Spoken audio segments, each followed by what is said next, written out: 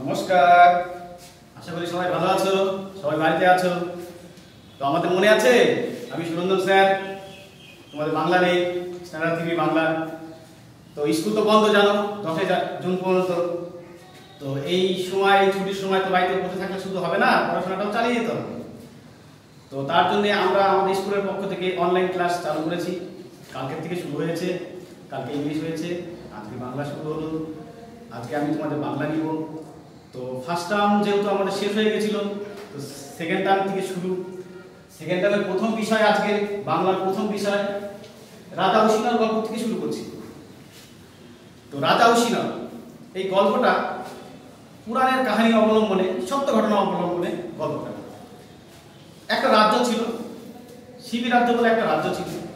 সেই রাজ্যের রাজ্যের রাজা ছিল রাজা বসিমা তিনি খুব সৎ এবং মহান লোক তার রাজত্বে সবাই খুব খুশি। কারও কোনো দুঃখ, কোনো অভ- অভাব অভিযোগ ছিল না।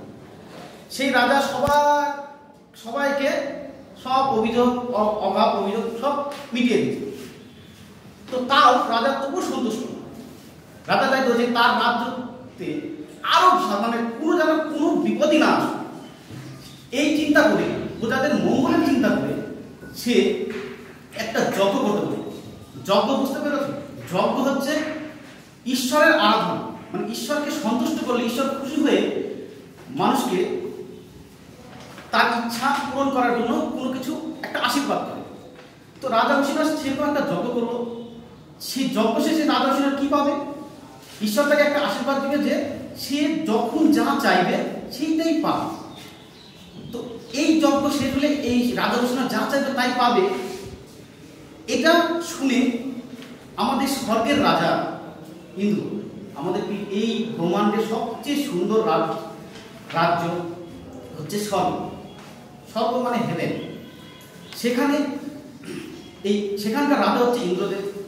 তার ভয় যে রাজা বসিনর যদি এই যজ্ঞটা সম্পূর্ণ করে ফেলে, তাহলে সে হয়তো দেখা গেল আমাদের স্বর্গরাজ্যটা চেয়ে বসে। তখন কি হবে? তখন তো তাহলে আমরা তো রাজা থাকব না আমাদের কি হবে এই ভয়ে সে তার যত মন্ত্রী, সেনা, সবাইকে নিয়ে একটা আলোচনা করতে। আলোচনায় বসবে আলোচনায় তখন বলল যে, রাজা উসিনের যজ্ঞটাকা কীভাবে ভণ্ড করা যায় মানে বাতিল করা যায়, যাতে তাকে যজ্ঞটা করতে দেওয়া না যায়? তো এই জন্যে এই কথা যখন বলল, তখন ওখানে তো অনেকেই ভালো ছিল। অনেকেই সবাই বলল যে, না, এটা তো অন্যায়। কেউ নিজের একটা মঙ্গল, প্রজাদের মঙ্গলের জন্য যজ্ঞ করছে, তার যজ্ঞটাকে কেন বাতিল করে? এটা তো অন্যায় হচ্ছে। আমরা দেবতা, ভগবান হয়ে কেন অন্যায় করব? কিন্তু তবু ইন্দ্রদেব বলল, না, আমাদের তো বিপদ হবে। তখন তো পরামর্শ, আলোচনা শেষ হয় না মিটিংটা শেষই হচ্ছে না।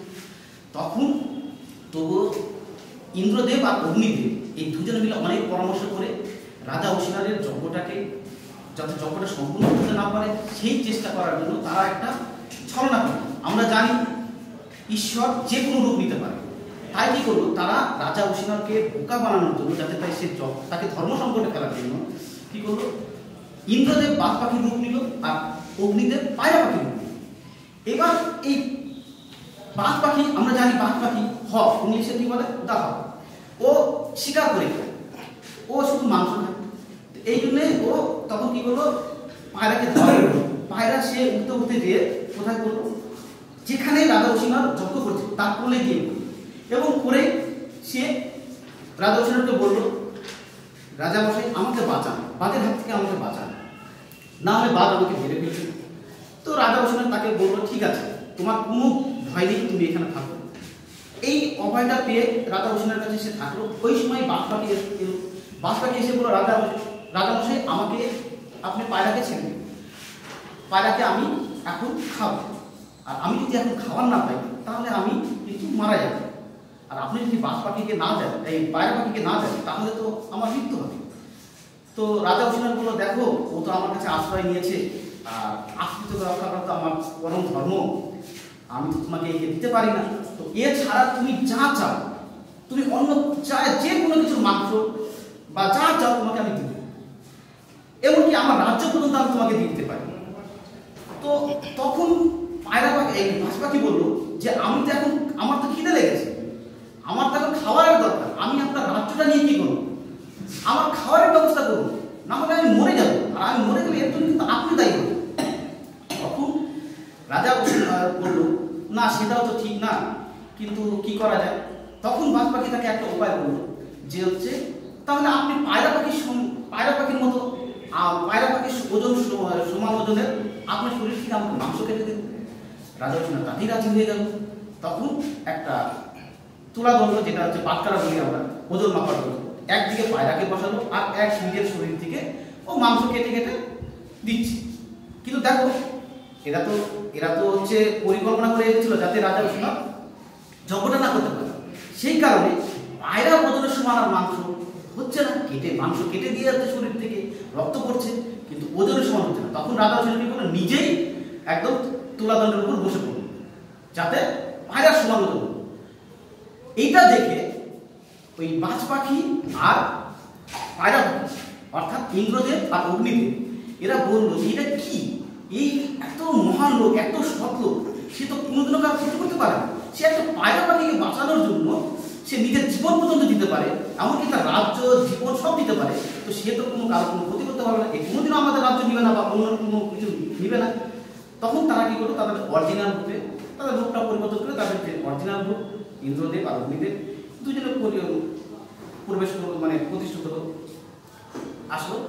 তখন এসে তখন হচ্ছে এই যে রাজা উসিনের যে শরীরটা কেটে গেছিল, তাকে আবার আশীর্বাদ দিয়ে তারা তো ভগবান, ঈশ্বর, তারা সব করতে পারে ওরা আশীর্বাদ দিয়ে ওর দেহটাকে আবার ঠিক করে দিল। ঠিক করে দিয়ে ওকে উল্টা আরও আশীর্বাদ করল যে আপনার মঙ্গল। তখন এরপরে রাজা উসিন তার কম সম্পূর্ণ এইটা হচ্ছে গল্পের বিষয়, বিষয়বস্তু। তো আজকে একদিন তো সব করা যাবে না? আজকে তোমাদের আমি গল্পটা বুঝিয়ে দিলাম। তোমরা শব্দার্থগুলো পড়ে নিবে। শব্দার্থগুলো পড়ে মুখস্থ করে রাখবে। কোশ্চিনগুলো আমরা লিখে যে লিঙ্কটা দেওয়া আছে বা হোয়াটসঅ্যাপ গ্রুপ যে করা হয়েছে ক্লাস অনুযায়ী, সেই গ্রুপে আমরা পোস্ট করে দিব। বা পরের ভিডিওতে হয়তো কোশ্চেনগুলো অ্যান্সারগুলো পোস্ট করে দিব। কোনো ভয়ের কোনো কারণ নেই। তোমরা শুধুমাত্র স্কুলের যে হোয়াটসঅ্যাপ গ্রুপটা আছে, স্কুলের যে একটা লিঙ্ক পার্ট বানিয়েছে, সেটা ভালো মতো ডাউনলোড করে নিবে। করে নিয়ে এটাকে একটু একটু ফলো করবে। দেখবে তোমরা সব কিছু পেয়ে যাবে। তোমাদের কোনো ভয়ের কারণ শুধু বাড়িতে একটু পড়তে হবে। আর বাড়িতে থাকবে মা বাবার কথা শুনবে, কখনো গ্যাদারিং করবে না। সবসময় শান্ত থাকবে। মা বাবার কথা মতোই চলবে। ঠিক মতো খাওয়া দাওয়া করবে। বেশি টিভি দেখবে না। বেশি টিভিও দেখবে না, একটু পড়াশোনা করতে হবে, কারণ অনেক দিনের ছুটি। এই ছুটির মধ্যে পড়াশোনাটা অবশ্যই চালিয়ে যেতে হবে। এই বলে আমি শেষ করছি। নমস্কার।